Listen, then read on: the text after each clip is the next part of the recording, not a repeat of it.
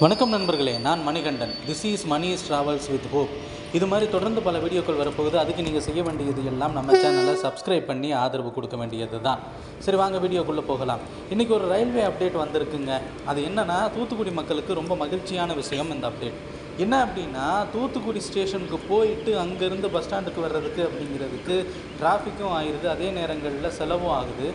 அதுக்காக ஏற்கனவே இருந்த ஸ்டேஷன் தூத்துக்குடி மேலூர் ஸ்டேஷன் வேலை பார்த்துக்கிட்டு இருந்தாங்க. அந்த வேலையெல்லாம் நிறைவடைந்து நாளை முதல் அந்த ஸ்டேஷன் இயங்க ஆரம்பிக்க போகுதுங்க.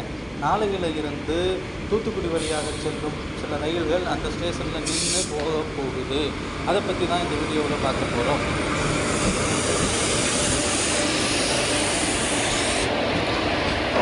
மேலூர் அப்படின்னா மதுரை பக்கத்தில் நினச்சிடாதீங்க. தூத்துக்குடி நகருக்குள்ளே ஒரு மேலூர் இருக்குது அந்த ஸ்டேஷனில் இறங்கணும் அப்படின்னா கிட்டத்தட்ட பஸ் ஸ்டாண்டுக்கு ரொம்ப பக்கம்.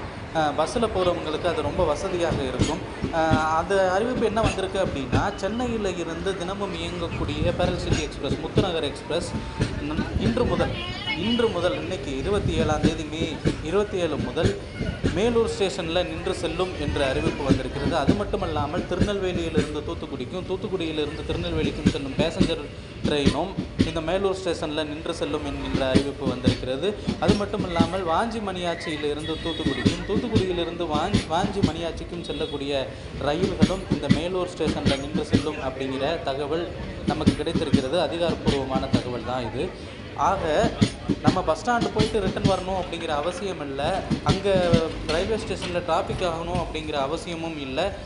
இன்று முதல் மேலூர் ஸ்டேஷனில் ரயில்கள் நின்று செல்லும். தூத்துக்குடி மேலூரில்ங்கிறது தான் இந்த வீடியோவோட இது. அடுத்த வீடியோவில் மீட் பண்ணுவோம். நன்றி.